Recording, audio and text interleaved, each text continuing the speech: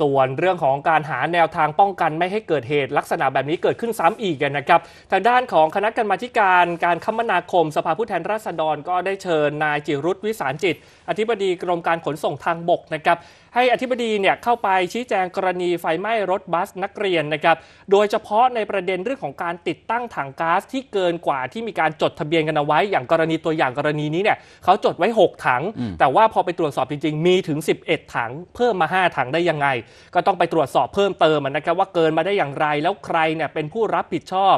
พร้อมกับย้ำว่าได้ดำเนินการกับผู้เกี่ยวข้องทั้งหมด ไม่ว่าจะเป็นตัวของผู้ประกอบการเองเจ้าของรถผู้ขับรถวิศวกรที่ตรวจสอบถังก๊าซรวมไปจนถึงเจ้าหน้าที่ที่ได้รับมอบหมายให้ตรวจสอบในเรื่องนี้ก็คือทางขนส่งจังหวัดนะครับ แล้วก็ต้องไปตรวจสอบเจ้าหน้าที่ของกรมการขนส่งทางบกด้วย เกี่ยวกับวิธีการปฏิบัติงานต่างๆ ว่าถูกต้องหรือไม่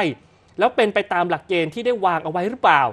โดยได้มีการตั้งคณะกรรมการสอบสวนข้อเท็จจริง ซึ่งกำหนดกรอบเวลาไว้อยู่ที่ 2 สัปดาห์นะครับ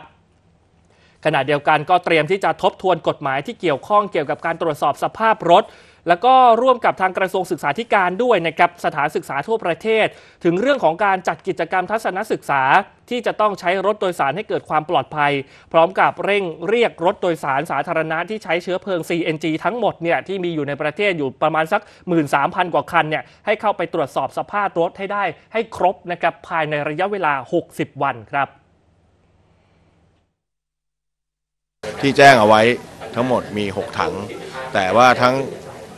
ผู้สอบสวนคือผู้สอบสวนอุบัติเหตุ และก็พนักงานสอบสวนไปดูแล้วก็มีความเห็นตรงกันว่ามีถังแก๊สเกินกว่าที่ได้จดทะเบียนไว้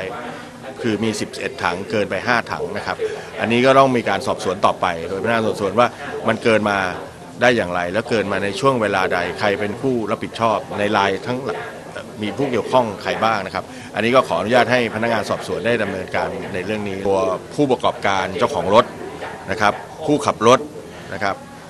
วิศวกรผู้ตรวจสอบ ผู้ตรวจสอบในการทดสอบถังแก๊สนะครับ รวมไปถึงเจ้าหน้าที่ที่ได้รับมอบหมายให้ตรวจสอบเรื่องนี้ของที่จังหวัดสิงห์บุรีนะครับ ตอนนี้เราได้ดำเนินการในเบื้องต้นไปกับทั้งหมดที่เกี่ยวข้องเหล่านี้แล้วนะครับ การของผู้ประกอบการเนี่ยได้มีการ พักใช้ใบอนุญาต คือไม่สามารถตอนนี้ไม่สามารถที่จะดำเนินการกิจการในการขนส่งสาธารณะได้ในระหว่างการสอบสวนนี้นะครับผู้จัดการด้านความปลอดภัย ซึ่งทุกทุกบริษัทผู้ประกอบการต้องมีผู้จัดการด้านความปลอดภัย ซึ่งจะต้องดูแลเรื่องของความปลอดภัยรายวันผมผมเน้นว่าเป็นรายวันว่ารถออกเนี่ยต้องมีการดูแลเรื่องความปลอดภัยนะครับทางบริษัทนี้ก็มีผู้ผู้จัดการด้านความปลอดภัยนะครับ อันนี้ได้พักใช้ ใบอนุญาตแล้วก็ใบรับรองเรื่องของการเป็นผู้จัดการด้านความปลอดภัยไปแล้วนะครับผู้ติดตั้งถังแก๊สหรือวิศวกรผู้รับรับรองทดสอบถังแก๊สนะครับ ขณะนี้ได้ระงับใบอนุญาตไม่สามารถที่จะดำเนินการในกิจการนี้ได้นะครับ ต่อมาก็คืออเจ้าหน้าที่ที่ได้รับมอบหมายให้ตรวจสอบตรวจสอบ ผู้ติดตั้งตรวจสอบนี่อ่าอ่าผู้ทดสอบถังแก๊สแล้วก็ตรวจสอบทั้งทั้งตัวรถนะครับ ตอนนี้ก็ได้ดำเนินการได้โยกย้ายมาปฏิบัติราชการช่วยราชการที่กรมนะครับ แล้วก็ให้ออกจากพื้นที่แล้วเข้าแล้วก็ส่งคณะกรรมการสอบสวนเข้าไปตรวจสอบข้อเท็จจริงในพื้นที่ด้วยครับ ซึ่งในส่วนของพื้นที่นะครับ นางอัชรานิสัยสัตว์ ขนส่งจังหวัดสิงห์บุรีนะครับรักษาการขนส่งจังหวัดลบบุรีเนี่ยบอกว่ารถคันที่เกิดเหตุไฟไหม้เนี่ยเคยเข้าไปตรวจสภาพที่สำนักงานขนส่งจังหวัดนะครับซึ่งเจ้าหน้าที่ได้ตรวจสภาพตามขั้นตอนอย่างถูกต้อง แล้วก็มีความเข้มงวด แต่ว่าวันที่มาตรวจเนี่ยเจ้าหน้าที่พบถังก๊าซ6ถังแล้วก็มีอุปกรณ์ครบถูกต้องตามมาตรฐาน และเจ้าหน้าที่ขนส่งจังหวัดลบบุรีเองก็ได้ประสานให้รถโดยสารในการประกอบ กิจการก็คือนางสาวปณิสราชินบุตร และในเครือชินบุตรนะครับเข้าไปตรวจสภาพอีกครั้ง ซึ่งเมื่อวานนี้เนี่ยนัดหมายไว้ว่าจะเข้ามาตรวจ 1 คัน และที่เหลือเนี่ยจะตามมา แต่ทราบว่าทั้งหมดเนี่ยไม่ได้เข้ามาตรวจสอบที่ขนส่งลบบุรีตามที่นัดหมายกันเอาไว้นะครับ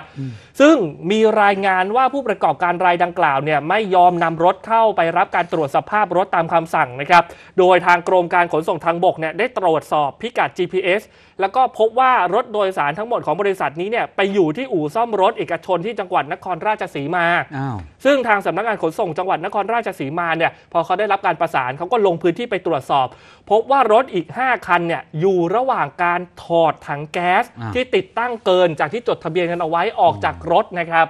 ซึ่งได้มีการลงบันทึกประจำวันไว้เป็นหลักฐาน เพื่อให้พนักงานสอบสวนดำเนินคดีกับผู้ประกอบการรายนี้ต่อไปครับ อันเนี้ยต่อหน้าต่อตาเลยนะโอ้คือโชคดีที่มีการติด GPS แบบนี้เอาไว้ออ แล้วเจ้าหน้าที่เขาก็ไปตรวจสอบทัน ถ้าไม่งั้นเนี่ยสุดท้ายแล้วพอถอดถังมา แล้วกลับมาตรวจลบบุรีก็อ้าวกลายเป็นว่าตรวจสอบว่าอ้าวไม่ได้มีการเพิ่มเติมของถังก๊าซแต่อย่างใด อันนี้โชคดีมากที่ไปพบก่อนนะครับอ่านี่แหละครับต้องต้องต้องตรวจแล้วครับอืมหมื่นกว่าคันเนี่ยถ้าเรียกมาจะเหลืออะไรเท่าไหร่ครับนะครับ เพราะว่าสิ่งเหล่านี้อย่างที่บอกนะครับเป็นเรื่องสะเทือนใจของคนไทยทุกๆคนเพราะว่าเป็นโศกนาฏกรรม ชาวต่างชาติเห็นเรื่องนี้ก็สะเทือนใจแต่มันสำคัญกว่านั้นก็คือจิตใจของผู้ปกครองนะที่เราทุกคนต้องเยียวยาคุณผู้ชมครับเชื่อไหมเรื่องนี้ มันไม่ใช่แค่เรื่องในประเทศเราแล้วครับมันคือเรื่องที่ต่างประเทศให้ความสนใจ เพราะเวลาเราเขามาเที่ยวในบ้านเราเนี่ยเขานั่งรถอะไรรถโดยสารสาธารณะ ซึ่งก็ไม่รู้ว่ามันจะมีเหตุการณ์แบบนี้เกิดขึ้นซ้ำอีกมันเป็นเรื่องของความไม่สบายใจอืมแล้วมันจะกระทบต่อการท่องเที่ยวในอนาคตของเราหรือเปล่าครับ มันกระทบกันหมดเลยนะฮะอืมนะแค่ความประมาทเลินเล่อของคนอะครับที่ทำให้เกิดเหตุการณ์เหล่านี้เกิดขึ้น เอาละสืบสวนกันต่อไปในทางคดีนะฮะคุณผู้ชมครับ